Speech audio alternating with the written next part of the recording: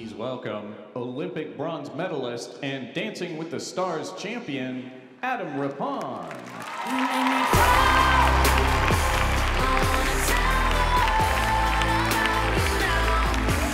Hey, everybody. Um, I hope you guys are having a great night tonight. Um, it's quite a task to follow that video. Um, so many inspiring young people. It's so incredible. Uh, before I came out here, the makeup artist came up to me and she said, can we do anything? And, and I'm glad I told her this. I said, I'm gonna take a really heavy, heavy contour because as long, it doesn't matter if you guys think I'm inspiring, I just want you to think that I'm beautiful.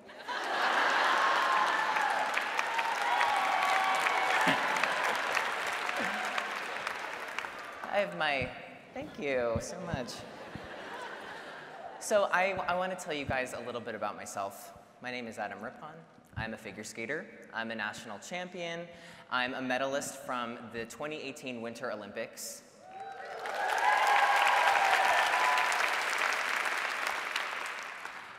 And I am the oldest of six kids. I am from a small town called Clarks Summit, Pennsylvania, and our big town is Scranton. I don't know why you're laughing, but. So, I have been skating for the past 18 years. And through that, I've learned so many things through sports, through skating.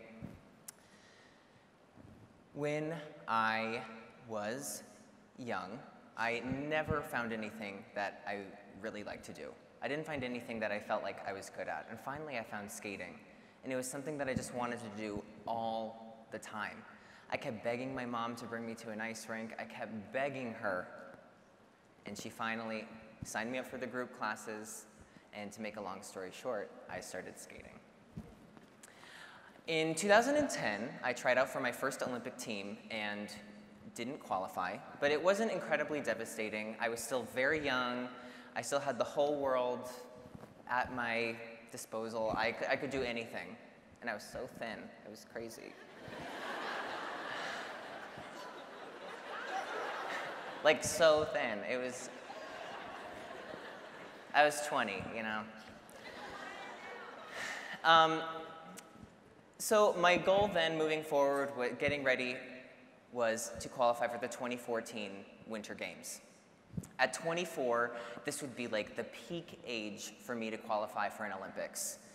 This felt like a do or die, now or never sort of moment for me. Getting ready for those games, if you remember, they were in Russia, and they came out with this anti-gay propaganda law. And as athletes, we did not know what that meant. The United States Olympic Committee told us that they would stand behind anything that we said, but they didn't know what it would mean for us once we were in Russia. So it was scary. We didn't know if we would be putting ourselves in danger or if we would be putting our teammates in danger, which would be worse. So I decided not to say anything. But I also didn't qualify for that Olympic team. And this pushed me to sort of like a rock bottom because I didn't want to be skating. I didn't want to have anything to do with skating. I didn't know what I wanted to do. But what I found was getting pushed to that rock bottom was the best thing that ever happened to me. I think that somebody who has nothing to lose has everything to gain. And when you're in that place of, I have nothing to lose, it's one of the most liberating feelings you can ever feel. It can feel really scary because you feel like you don't have anything. But it's one of the most powerful moments that we as like human beings that we can experience because you're willing to do anything. You don't feel that weight of expectation. And so in that moment, that's when I started to live my true life. I decided I was going to come out publicly. I decided that I was going to take initiative within my skating career. I would come to my coach with different ideas of things that I wanted to do within my training. I was going to really kind of take command of my career and my life. And I did. And for the next four years heading into the Olympics, I just had this momentum and I just felt like everything was on my side. And then a year out from the Olympic Games, I broke my foot.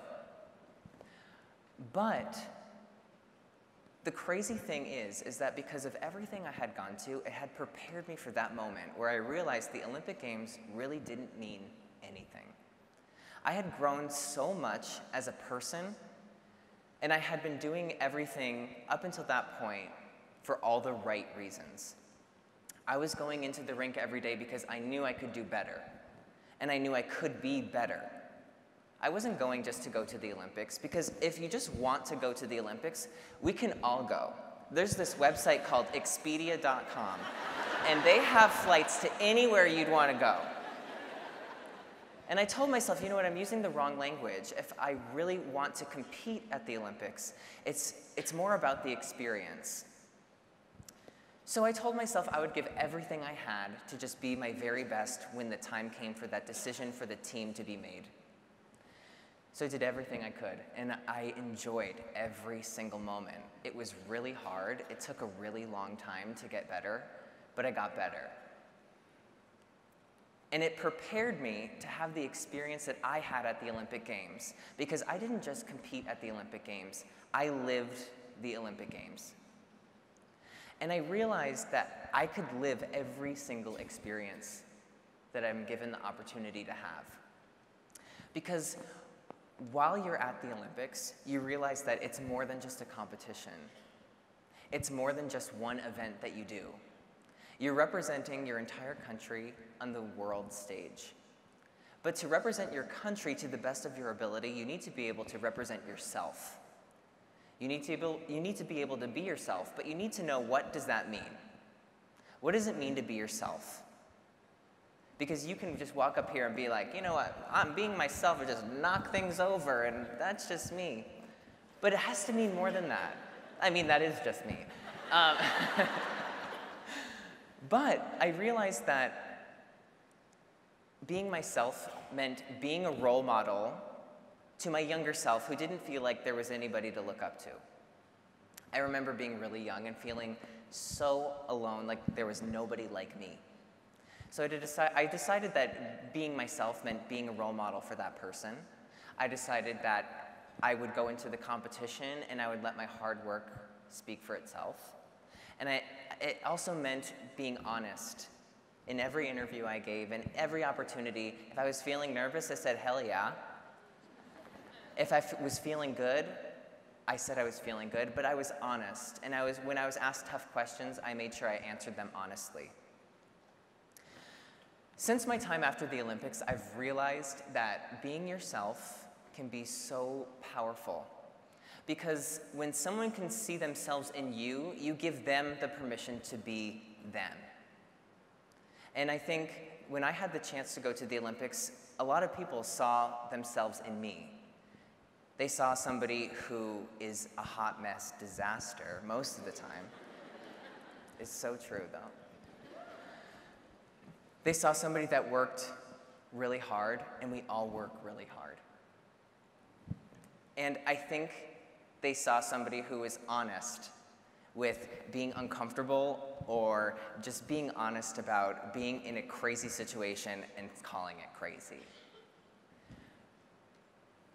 But more than anything, what I realized and what I have heard from so many people younger than me, my age, and even much older than me is how they saw themselves in what I was doing.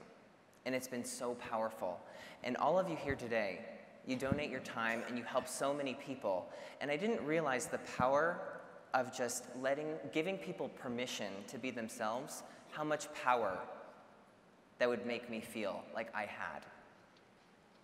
And you don't know that what you say and all the things that you do, how that can affect people. Because people are listening and people are watching. And right now, more than ever, it's important that we speak up for the things that we believe in and that we act.